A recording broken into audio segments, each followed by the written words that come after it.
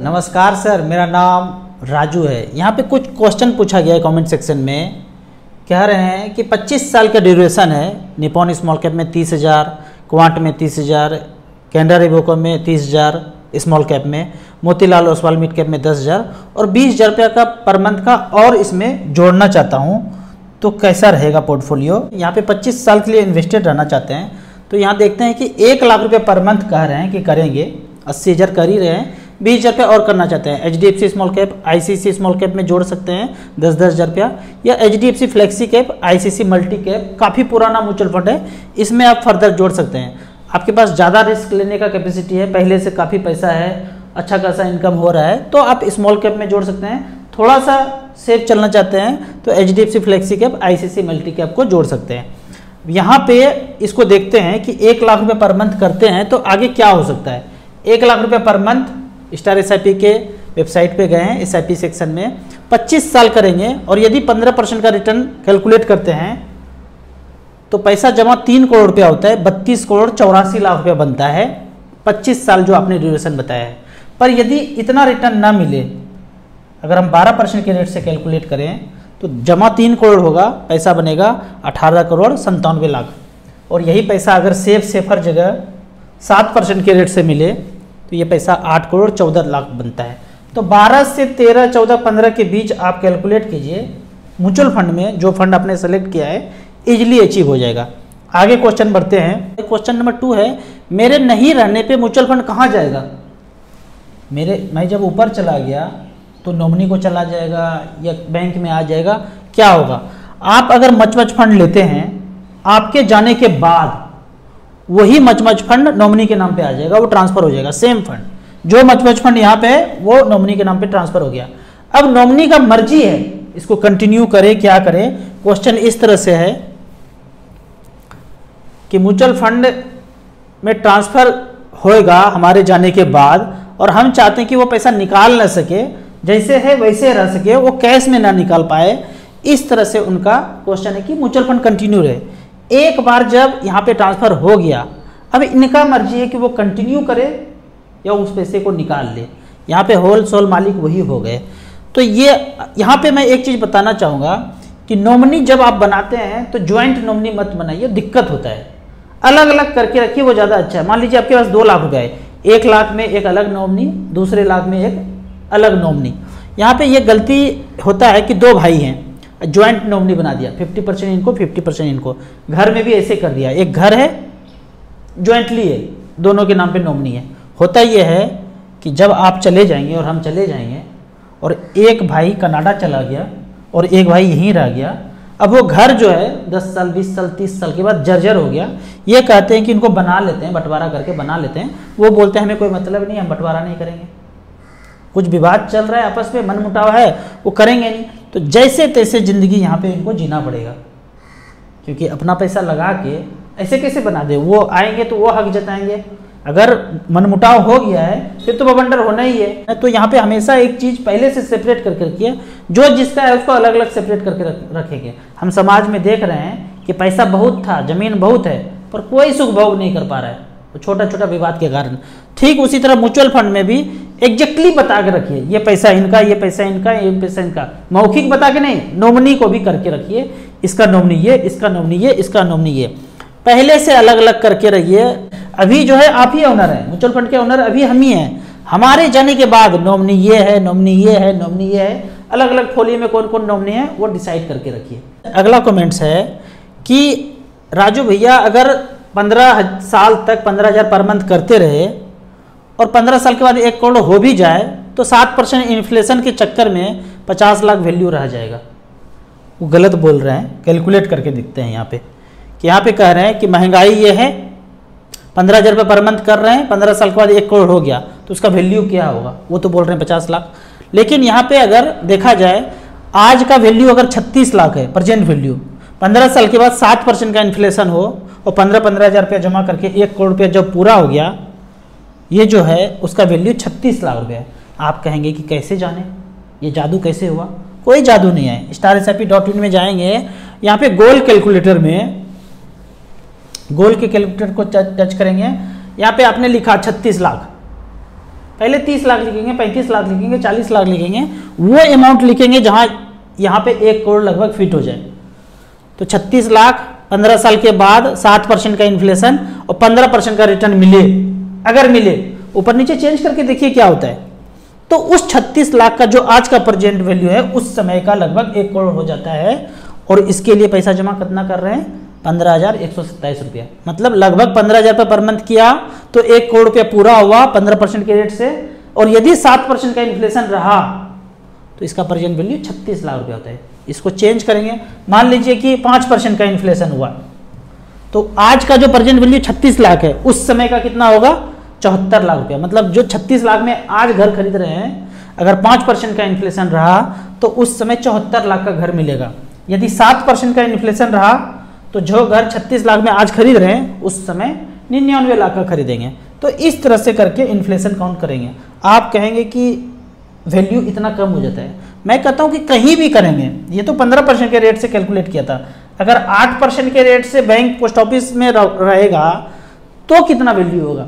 ज़ाहिर सा बात है कि वो कम होगा। जो पंद्रह परसेंट के रेट से मिल रहा था, आठ परसेंट के रेट से कम होगा। लेकिन आठ परसेंट के रेट से अगर इन्वेस्ट करते रहे तो अट्ठाईस हज़ार रुपये पर मंथ जमा करना पड़ेगा। जो चीज़ पंद्रह हज़ार से अचीव हो रहा था, उसके लिए अगर आठ परसेंट पे रहें तो अट्ठाईस हज़ार रुपये पर मंथ देना पड़ेगा। तो इस तरह से खुद से कैलकुलेट करना है। अगले क्वेश्चन पे जाते हैं। कि लॉन्ग टर्म के लिए सेक्टर फंड अच्छा रहेगा क्या? बारह साल के लिए टाइम है। अब सेक्टर फंड के बारे में पूछ रहे हैं। मैं हमेशा बोलता हूँ कि सेक्टर फंड से बचना चाहिए। इसको दूसरे उदाहरण से समझते हैं कि एक बार अगर शादी कर लिया ना तो दूसरों से बचना चाहिए। ट्राई करना चाहिए। नहीं बच पाए कोई बात नहीं। उसी तरह सेक्टर फंड से बचना चाहिए। बहुत ज़्यादा पैसा आपके पास इधर लगा दिया, उधर चलेगा। लेकिन ज़्यादा पैसा नहीं है तो मैं कहूँगा सेक्टर फंड से बचिए। अब आपको बोलूँगा आप पूछेंगे क्यों बचें? उसके लिए लॉजिक है। यहाँ पे मैं आपको निपॉन इंडिया स्मॉल कैप का एक पोर्टफोलियो दिखाता हूँ। एक स्टॉक है इसमें निपॉन इंडिया स्मॉल कैप में। अभी इस एक सौ बहत्तर स्टॉक में जो सेक्टर आप बात कर रहे हैं, क्या उस सेक्टर का स्टॉक फंड मैनेजर ने नहीं खरीदा होगा? ये तो हो गया निपॉन इंडिया का और ये है एसबीआई स्मॉल कैप का। आप कहते हैं कि ये सेक्टर अच्छा लग रहा है। आपको अच्छा लग रहा है रिटर्न अच्छा लग रहा है। और उसमें कुछ स्टॉक होगा। और फंड मैनेजर को अगर लग रहा है कि वो स्टॉक अच्छा करेगा तो क्या वो स्मॉल कैप में खरीद के नहीं रखेंगे? ऐसा हो ही नहीं सकता है कि फंड मैनेजर को लगे कि ये फंड खूब अच्छा करेगा, ये स्टॉक खूब अच्छा करेगा तो उसमें वो पोर्टफोलियो में ना रखे। तो ये ताम झाम छोड़ना है सेक्टर फंड वगैरह। अगर टेक्नोलॉजी फंड अच्छा लग रहा है तो फंड मैनेजर स्मॉल कैप में टेक्नोलॉजी फंड लेके रख लेंगे। स्मॉल कैप का तो मतलब ही हो गया ना, एकदम डाइवर्सिफाइड जहाँ लगाना है लगाएँगे। टेक्नोलॉजी हो इंफ्रा हो ऑटो हो पावर हो, कुछ भी हो, यहाँ पे तो कोई बंधन ही नहीं है। हमने बोला स्मॉल कैप जो छोटा छोटा कंपनी होगा सब खरीदेंगे। तो सेक्टर से कोई मतलब नहीं है। यहाँ जो मर्ज़ी है वो खरीदते रहेंगे। तो इस तरह से करके आपको सेक्टर से बचना है। सेक्टर का एक टाइम होता है। एक टाइम में चला, फिर कभी नहीं चलेगा। फिर चला, कभी नहीं चलेगा। कि? तो उससे अच्छा है कि फुल डाइवर्सिफाइड म्यूचुअल फंड जो है, वो स्मॉल कैप उसमें लगाते रहिए। अब यहाँ पे एक खतरनाक वाला क्वेश्चन आ गया है।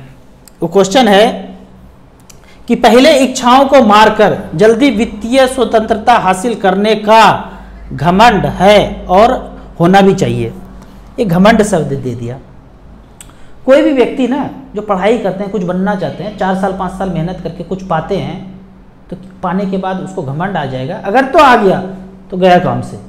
लेकिन उसको घमंड नहीं बोलेंगे। अगर कोई घमंड दिखाता है तो फिर तो उसका कोई कहना ही नहीं है। यहाँ पे उनके कमेंट्स का जवाब है कि अगर फाइनेंशियल फ्रीडम पाने के बाद या पैसा आने के बाद किसी को घमंड हो जाए तो उस पैसे का कोई यूज़ नहीं है। अगर तो पैसा आने के बाद घमंड आ गया ना तो सारा निगेटिव एनर्जी जो है ना, उसके अंदर समा जाएगा। यहाँ पे मैं आपको एक कहानी सुनाता हूँ। बुद्ध जी, महात्मा बुद्ध जी जहाँ भी जाते थे, एक जंगल में बसेरा करते थे, उसको जैतवन बोलते हैं। उनका एक शिष्य था आनंद। वो आनंद अपने गाँव के निकट ही बसेरा करने जा रहे थे। दस हज़ार भिक्षु के साथ उस उस गाँव में वो बसेरा करने जा रहे थे। तो जो भी जंगल में जाते थे, उसको जैतवन बोलते थे। सभी लोग गाँव के मिलने आए। आनंद की बहन को भी मिलने आना था, पर वो आई नहीं। जब आई नहीं तो संदेश भेजा गया। संदेश भेजने के बाद बहन आई। पहले आ नहीं रही थी, क्योंकि उनकी बहन को पूरे शरीर पे फफोला हो गया था, एक स्किन डिज़ीज़ हो गया था। जब बुलाने के बाद आई तो कपड़े ढक के आई। तो आनंद उनके भाई ने कहा कि पागल हो गई क्या? एक तो तुम आई नहीं, और जब आई हो तो कपड़े ढक के आई हो। फिर बहन ने कहा कि मुझे पूरे शरीर में फफोला हो गया है। ये डिज़ीज़ काफ़ी समय से है मैं अपना चेहरा आपको दिखाना नहीं चाहती थी, इसलिए मैं नहीं आ रही थी। तो आनंद उनके भाई ने बोला, छोड़ो इन बातों को, तुम्हें बहुत काम करना है। दस हज़ार भिक्षु आए हैं, बारिश का समय है, छप्पर छौनी ये सब सेट बनाना है, तुमको उस काम में लगना है, जाओ और ये काम करो। हज़ार भिक्षुओं को रहने के लिए उनको काम करना था, उनका नाम रुकमनी था, बहन का। तो पहली बार भाई ने कुछ कहा, उन्होंने कहा, भाई जी, बन जाएगा। दस साल, बारह साल के बाद भाई मिलने आए हैं और उनको कुछ काम दिया तो काफ़ी स्वाभिमानी थी वो। उन्होंने सारे अपने कंगन सोने को बेच दिया और इतना रम गई काम करने में, दो महीने तक लगातार काम करते रही, इतना काम में रम गई कि उस बीमारी को भूल ही गई और 90 परसेंट वो ठीक हो गई। जब ये सारा काम हो गया, सारे भिक्षु को रहने का व्यवस्था हो गया तो बुद्ध जी ने रुक्मणी को एक दिन बुलाया और उनसे कहा, पूछा कि तुम्हें पता है कि ये रोग जो तुम्हें हुआ था, वो क्यों हुआ था? तो रुक्मणी ने कहा, नहीं भनते मुझे नहीं पता है। तो बुद्ध जी ने कहा, तुम काफ़ी रूपवती थी, सुंदर थी और बात बात पे क्रोध करती थी, गुस्सा करती थी। तुम्हारे सामने कोई भी तुमसे कम सुंदर का आ जाए तो उसका तिरस्कार करती थी। ये जो क्रोध, गुस्सा, घमंड है ना, ये ऊर्जा कन्वर्ट होकर बीमारी में चला गया और पूरे शरीर में तुम्हें बीमारी ने घेर लिया। है हम लोगों ने फिजिक्स में ये पढ़ा है कि एनर्जी जो है ना ट्रांसफ़र होता है, बदल जाता है, ख़त्म नहीं होता है। एक एनर्जी दूसरे में ट्रांसफ़र हो जाता है। फिर बुद्ध जी ने कहा, अभी जो अब तुम 90 परसेंट ठीक हो गई हो ना, ये दो महीना जो तुम काम की, वो जो करुणा दिखाई कि भिक्षु रहेंगे कैसे, उनके बारे में सोची, हम नहीं काम करेंगे तो भिक्षु भींग जाएँगे, रहेंगे कैसे, रात में सोएँगे कैसे, ये जो तुम्हारे मन में करुणा आया ना, वो सारे बीमारी का ऊर्जा करुणा के ऊर्जा में ट्रांसफ़र हो गया।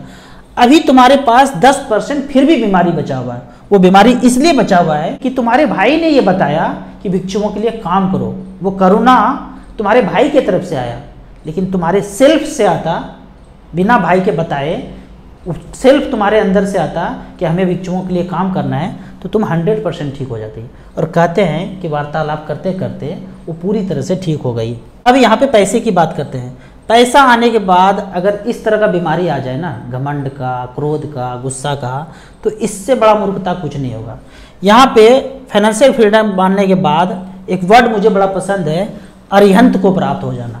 महावीर जी का ये सेंटेंस है, अरिहंत को प्राप्त हो जाना। उसका क्या मतलब है? जिसके सारे शत्रु समाप्त हो गए, उसको अरिहंत बोलते हैं। और हमारा शत्रु कौन है? पता है कौन है? ये हमारे शत्रु ये पाँच हैं। लोभ, क्रोध, मोह, काम, अहंकार। इतना मेहनत करने के बाद, सब कुछ पाने के बाद, हासिल करने के बाद, ये बीमारी पकड़ ले तो फिर सब समाप्त हो गया, इसका कोई सार नहीं है। वीडियो अच्छा लगे तो व्हाट्सअप यूनिवर्सिटी में दोस्तों के बीच इसे ज़रूर शेयर करें यूट्यूब पे देख रहे हैं तो लाइक एंड शेयर ज़रूर करें। Thank you so much